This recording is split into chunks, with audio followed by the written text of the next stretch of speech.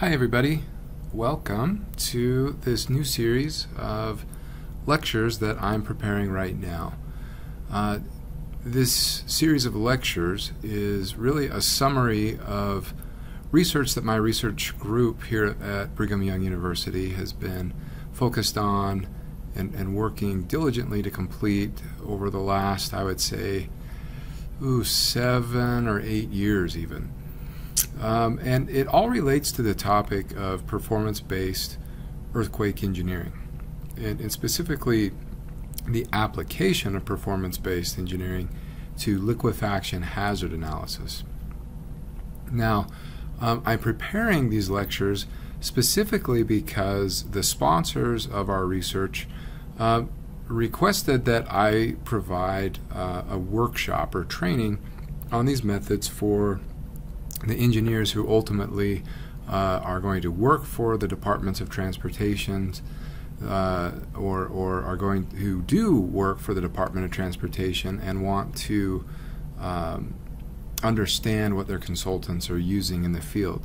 And so this series of trainings was originally intended to be held in person, and then COVID hit and um, it flipped the world upside down. And so um, rather than deal with all the travel and all of the restrictions and regulations, uh, they simply asked that I prepare a series of trainings and host them online for them to use. But I figured, well, if I'm going to do that, then I'm going to make this available to the entire world. And um, I do have a few thousand uh, followers on YouTube who follow the lectures and material that I put up there, and, and I'd like all of you to benefit from this material as well.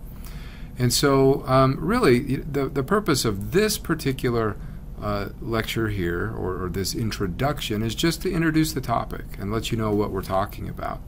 Um, now, before I get into the details of the, the technicalities, it's important that I just clarify where this is all coming from. And uh, I have several acknowledgments here that I need to give. The, the research that I'll be describing in this and in the next few lectures in this series uh, was all funded primarily by two um, sources. One of those sources being a conglomerate source. Uh, so the first was an FHWA transportation pooled fund study um, where several states uh, committed and, and, contributed funds to support this research. Those were the states of Utah, Alaska, Montana, Idaho, South Carolina, Connecticut, and Oregon. So thank you very much to those states for your um, very generous sponsorship, and, and really it was your sponsorship that made all of this possible. The second was a grant that I applied for and received uh, from the U.S. Geological Survey. Uh, you can see the grant number shown here. There was also a report prepared for that that's available online. All anybody needs to do is Google this uh, report number, and it should take you right to that final report. I want to acknowledge as well several of my professional collaborators who, along the way, were a support or uh, helped me work through some difficult questions um, and, and, also presented some interesting and difficult questions themselves that, that ultimately improved this work. And so these were uh, Dr. Stephen Kramer, Roy Mayfield, Leslie Youd, Kyle Rollins, and Brett Lingwall.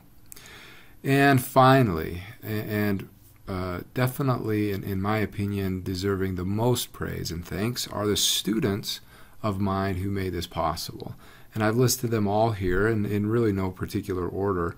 Um, I've got uh, Dr. Kristen Ulmer. She finished her PhD uh, after she worked with me. Uh, she went to Virginia Tech with Russell Green. And now she works for the Southwest Research Institute at the time of this recording. Levi Ekstrom, who currently works for Raba Kistner in Texas, Alexander Wright, who currently works for Kleinfelder in Sacramento and is part of their seismic practice group. Brian Peterson, who's here in Utah working for Gerhart Cole, he's a project manager now. Braden Ehrer, who is also in Utah working for AECOM. Lucy Astorga Hoke, she got married, and so her last name is Hoke now. Uh, she is in Tacoma working for geoengineers. Michaela Hatch uh, also works for geoengineers in Redmond, Washington. And, and Alex Arndt, he works for Ninyo and Moore in Las Vegas, Nevada. Tyler Coutu is uh, employed by Kiewit in their Omaha design office. Jingwen He, uh, Liang, she's also married now. Uh, she works, uh, she's actually a PhD student studying with Ellen Rathje at University of Texas, and she is about in her third year or so right now of her PhD studies. And last but not least, Jenny Blomquist, uh, who works for Kleinfelder in Salt Lake City, Utah, but is uh, recently accepted a PhD uh, opportunity with uh, Dr. Brady Cox at Utah State University. So I'm proud of these students. I mean, they're literally all over the country now taking this knowledge out to uh, professionals all around this country, and they're doing great things. And so, um, boy, my chest swells with pride when I think of the, these great students in my past. So, um, what am I talking about here? Uh, and you're sitting here going, okay, this is great, but what does this have to do with my practice and how is this going to benefit me? Let's go to the whiteboard here and erase whatever I have on here. Okay, so let's say that you are working on a site.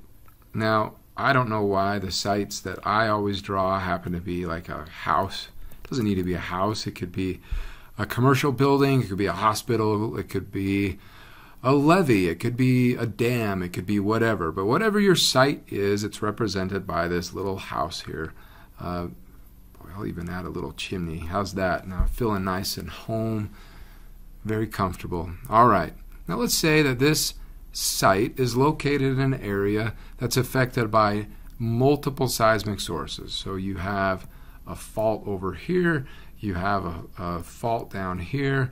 You have, let's say, a zone that we don't have defined faults, but we know there's seismic activity, so we call this an area source where we say, well, an earthquake can occur in any one of these grid points, but we just don't know which one. And let's say then that you have another fault that runs up here. So we have um, numerous faults surrounding our site. And let's say that beneath our site we have um, a groundwater table, and beneath that groundwater table we have a layer of, of potentially loose sand.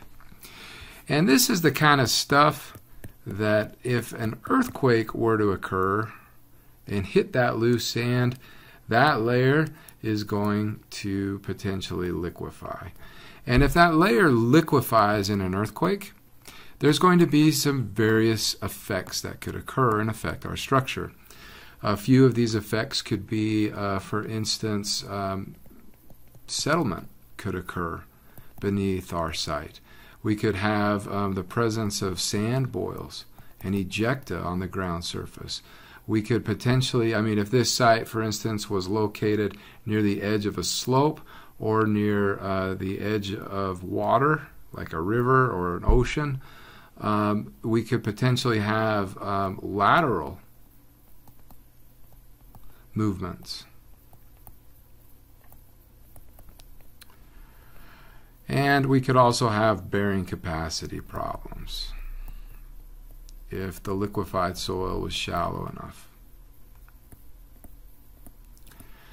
And there's other potential um, concerns that, that could affect our site, but for the time being, um, this list just gives you an idea.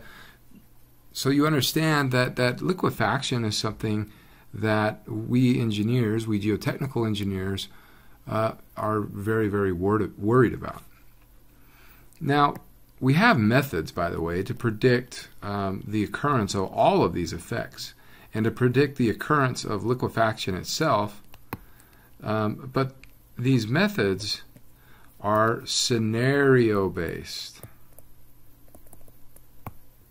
which means that I need a scenario earthquake. So if you give me a scenario earthquake, uh, give me, for instance, a ground motion from a scenario earthquake, or, or not even that, just give me the, the magnitude of the earthquake and how far from my site it's located.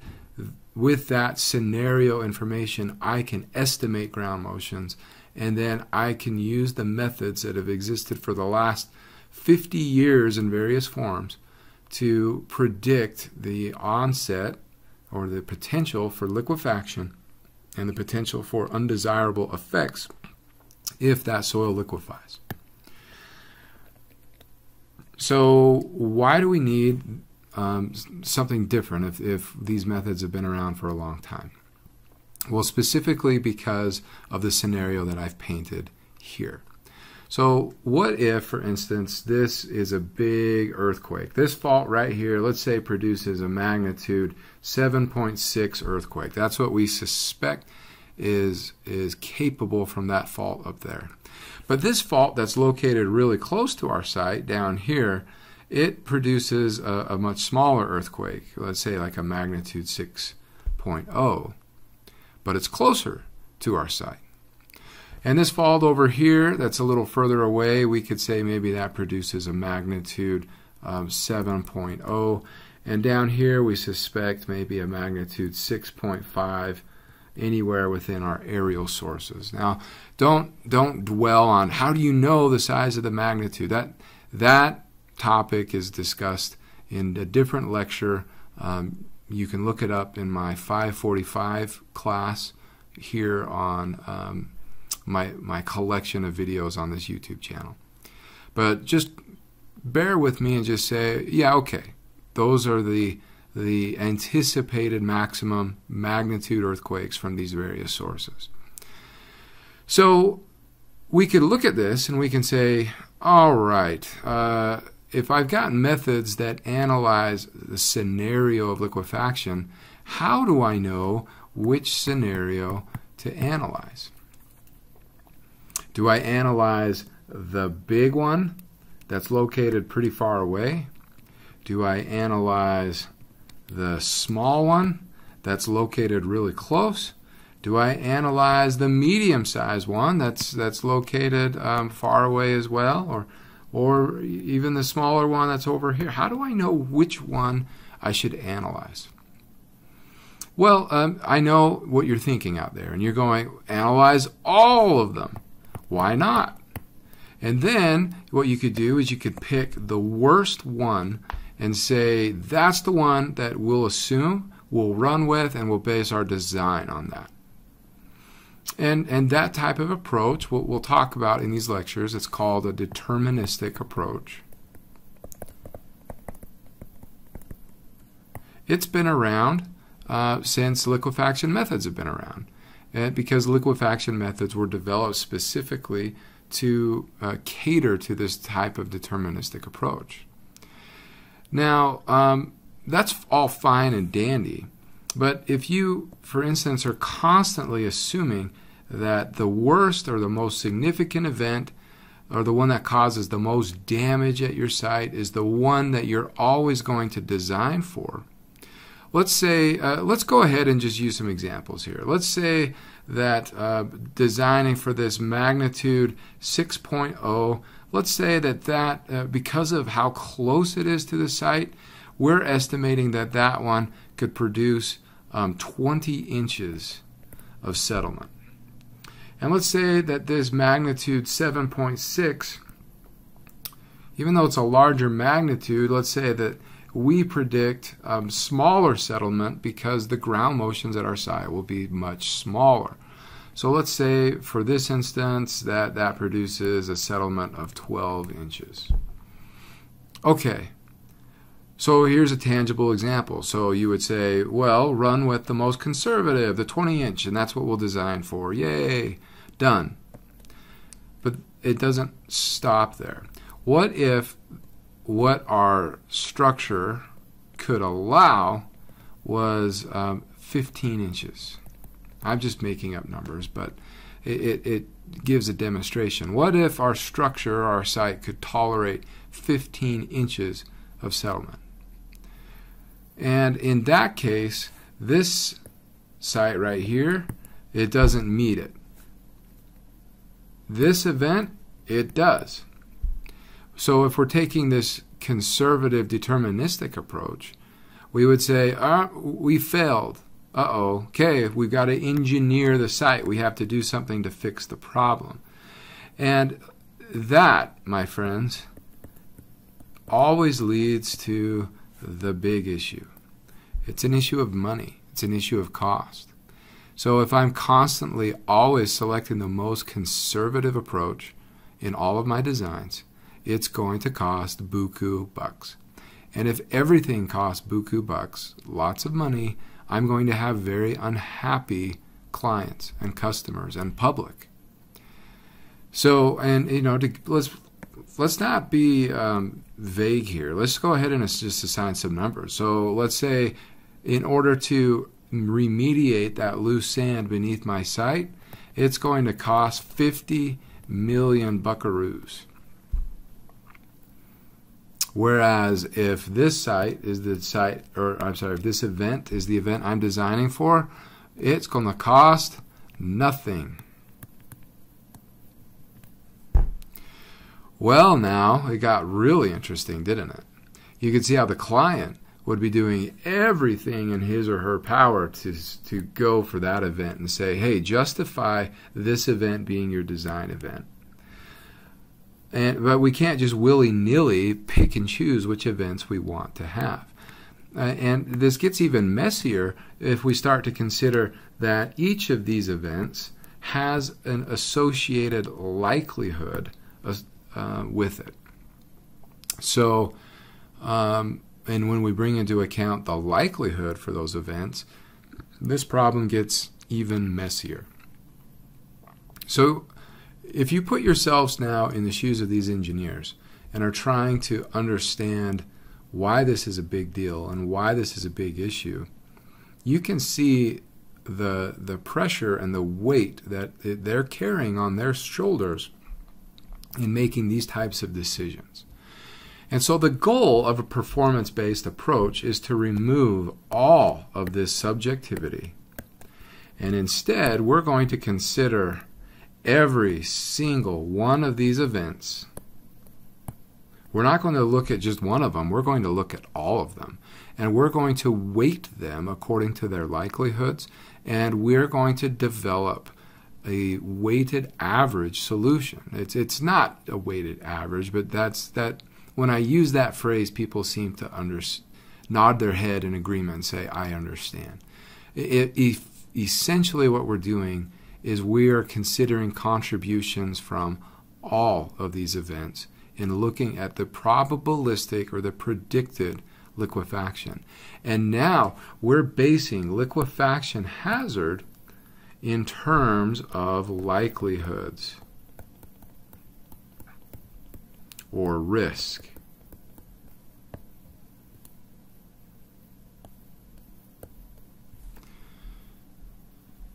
And that's a good thing because this then allows the owner to take upon himself or herself the onus of the, the liability and say, okay, well, I'm comfortable with this amount of likelihood or this amount of risk. So go ahead and design to that level. So it removes that, that pressure, that weight from the engineer.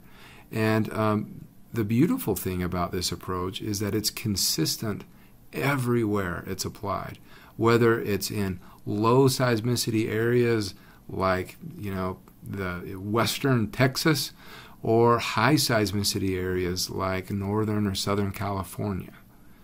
Regardless, it's the same approach, the same um, framework, and therefore you end up with consistent likelihoods and consistent risk. And that's where we're really heading with performance based liquefaction hazard analysis. And that's what we're going to discover in um, this series of lectures. So, uh, to walk you through this series of lectures, we're going to cover a few things. Uh, so, here's just an introduction. We're going to talk about all of the uncertainties. Why do we need a performance base? Could you try again? Oh, I have no idea why uh, my Siri just went off. Crazy. We're going to talk about all of the uncertainties in the problem. so here's your test. Um, if you're sitting there with an Apple product, say the word uncertainties and see if Siri goes off. I had no idea that that word would trigger Siri. Awesome. What we want to do is we want to look at all of the unknowns associated with liquefaction. We're going to spend some time, we're going to look at the unknowns associated with the ground motions. We're going to look at um, the uh, how we predict ground motions and the uncertainties associated with that. We're going to look at the phenomenon of liquefaction and how we predict it. And those uncertainties, which are a lot. And then um, we're going to look at the um, effects of liquefaction